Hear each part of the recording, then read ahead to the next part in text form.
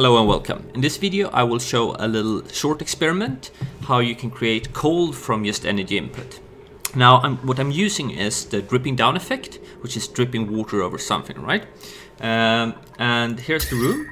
It's about 20 degrees in the air, uh, the water in the pipes is about 10 degrees and uh, the liquid is uh, 25 degrees. The interesting thing about this room is it had the same temperature as here when I started quite a few cycles back, right? So what I wanted to experiment with here was the dripping down in a closed environment. So uh, the, the, the thing is, right, I, I was unsure of exactly how it worked. I knew it worked, right? But I was a bit afraid as well that the reason it, it cooled down was that it, um, it spread really evenly out the temperature like so so so well so you actually didn't see that it was actually maintaining temperature right? So I really wanted to do in a closed off environment. So I was afraid it was pretty much spreading to all the areas around you just in small small parts right? So everything here is um, absolute right? Although I'm not going to show everyone. You can just recreate this experiment if you if you want to test it right? Um, and I, I, wanted to know exactly how the dripping down effect worked, right? So I did I did a test here both in vacuum and without vacuum where I just was dripping stuff, right? Into like liquid into liquid pretty much, right?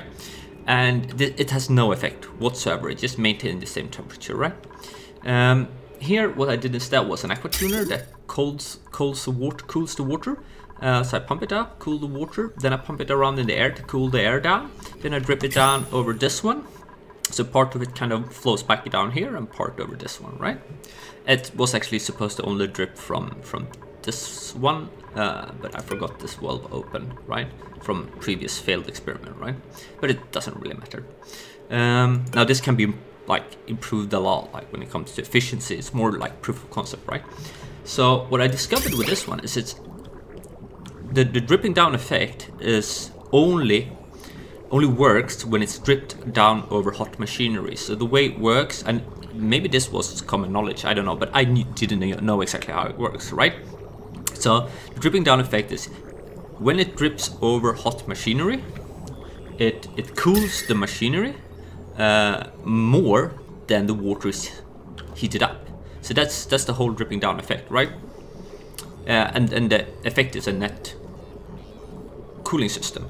So for example, like um, I saw a discussion about this machinery here and someone talking about like the oil dripping down over the oil in here from, from the slicksters is, is cooling the tank. That's not true. What's cooling the tank is the inflow of cold carbon dioxide at 20 degrees, right? That's what's cooling. This dripping down, at least from my experiments in, in closed in environments, has nothing to do with it. That's not cool anything at all, right? So the only way it, it works is stripping down the hot machinery.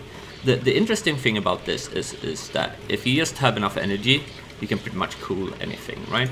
And I guess if you use something else, the water like oil that has a higher thermal conductivity, you will get a bit much higher net effect, right? So I could keep this running for, I'm gonna keep this running until it freezes, right? Uh, but you can see it, well, it's very slowly ticking down, right? So uh, 7.8 so anyway uh, the layout is like this so really simple. And just encapsulate all around. Alright thanks for watching. Cheers